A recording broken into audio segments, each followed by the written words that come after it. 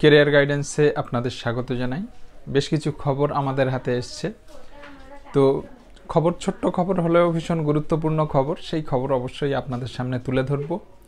তবে খবর শুরু করার আগেই নতুন একটা খবর চলে এসছে যে আজকে আমাদের প্রাক্তন শিক্ষামন্ত্রী পার্থ চ্যাটার্জিকে সিবিআই অফিসে দ্বিতীয়বার তলব করা হয়েছে।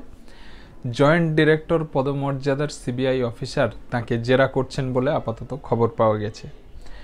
মূল খবরে যাবার আগে একটা ছোট্ট কথা বলে নেই। গত দুটি ভিডিওতে আমি দেখেছি অনেক বন্ধু অনেক রকম মন্তব্য করছেন।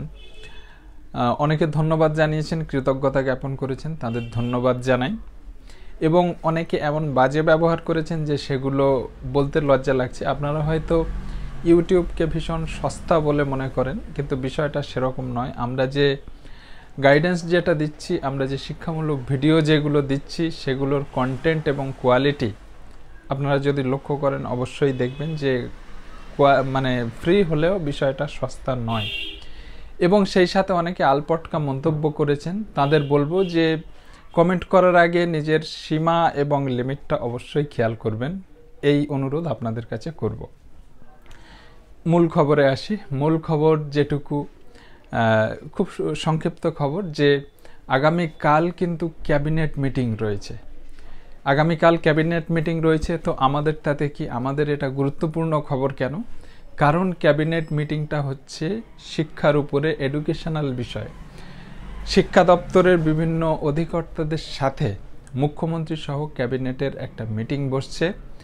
কোন বিষয়ে সেই মিটিং? একাধিক গুরুত্বপূর্ণ বিষয় কিন্তু সেই মিটিং থেকে উঠে আসবে। সেই মিটিংয়ে সিদ্ধান্ত গ্রহণ করা হবে।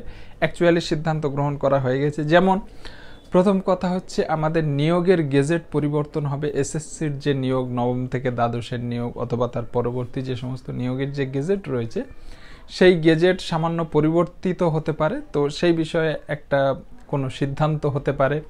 নতুন নিয়োগ কীভাবে হবে সে বিষয়ে কোনো সিদ্ধান্ত হতে পারে, কোন প্যাটার্নে পরীক্ষা হবে এবং কীভাবে নিয়োগ হবে এবং সেই সাথে সমস্ত পেন্ডিং নিয়োগ যেমন প্রাইমারি যেমন আপার প্রাইমারি যেমন ওয়েটিং এই সমস্ত বিষয়ে যে সমস্যা রয়েছে সেই সমস্যাগুলো কীভাবে সমাধান করা যায়, কীভাবে কাটিয়ে উঠতে পারা যায়, সেই সমস্ত বিষয় নিয়ে কিন্তু আলোচনা করা হতে পারে। তবে ক্যাবিনেট মিটিং বলে কথা আমাদের মুখ্যমন্ত্রীর, যদি মিটিংয়ে থাকেন মুখ্যমন্ত্রীর মিটিং কেমন হয় আপনারা জানেন।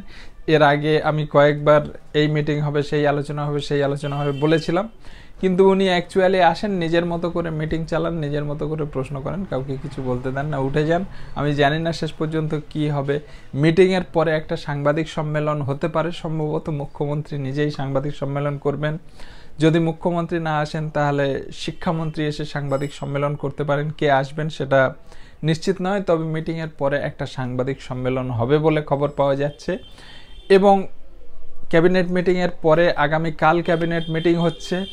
সাংবাদিক সম্মেলন হোক বা না হোক, আগামীকাল রাত্রেই মিটিংয়ে কি হয়েছে, না হয়েছে সেই বিষয়ের খবর আমরা আশা করছি সংগ্রহ করতে পারব। এবং শুক্রবার সকালে আপনাদের কাছে সে খবর পেশ করতে পারব বলে আশা রাখি। এবং আরেকটা বিষয় হচ্ছে যে, আগামী শুক্রবার থেকে মঙ্গলবারের মধ্যে আমাদের চেয়ারম্যানের কথা অনুযায়ী চেয়ারম্যান নিজেই একটা সাংবাদিক সম্মেলন করবেন।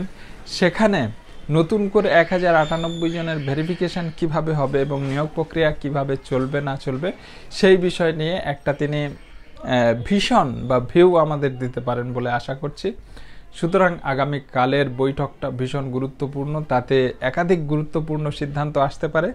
সুতরাং আর কয়েক ঘণ্টার অপেক্ষা, আর চব্বিশ ঘণ্টার অপেক্ষা, একটা দিন পরে, এই সময় বা এর একটু পরেই কিন্তু যে সাংবাদিক সম্মেলন হবে, তার থেকে আমরা আমাদের উত্তর পেয়ে যাব বলে আশা করছি।